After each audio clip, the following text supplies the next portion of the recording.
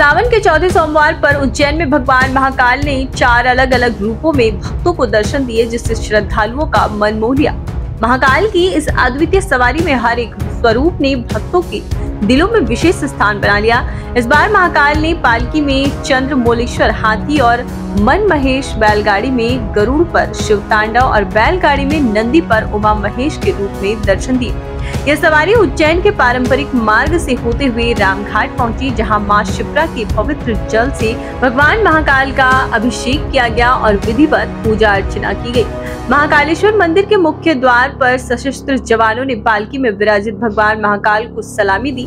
भक्तों ने पूरी सवारी मार्ग पर फूलों की बरसात कर भगवान का स्वागत किया और कई स्थानों पर महाकाल की आरती उतारी। सवारी के दौरान सीधी से आए जनजातीय कलाकारों ने अपने लोक नृत्य, घसिया बाजा की अद्भुत प्रस्तुति दी, जिसने दर्शकों को मंत्रमुग्ध कर दिया।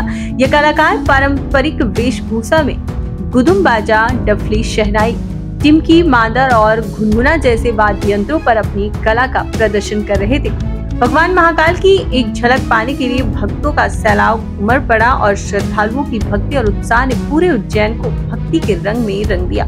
नेक्स्ट राजधानी भोपाल के थाना गोविंदपुरा क्षेत्र में स्थित रचना टावर में कुछ दिन पहले एक शराब व्यापारी के घर पर दो बदमाशों ने इकट्ठा दिखाकर 12 लाख की लूट की थी। पुलिस मौके पर पहुंचकर सीसीटीवी फुटेज की जाँच की, जिससे घटना की पुष्टि हुई। वरिष्ठ अधिकारियों को सूचित करने के बाद एक टीम गठित की गई। पुलिस और क्राइम ब्रांच की संयुक्त टीम ने इस मामले में बड़ी सफलता हासिल की है और आरोपियों को गिरफ़्तार कर दिया है। पूछताछ के दौरान यह पता चला कि वारदात को अंजाम देने वाले पूर्व कर्मचारी को नौकरी से निकाल दिया गया था।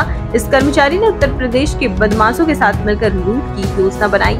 इन चारों आरोपियों, तीन पुरुष और एक महिला ने इस घटना को अंजाम दिया था। इन बदमाशों की दोस्ती मुल्ताई जिला बैतूल के जेल में हुई थी।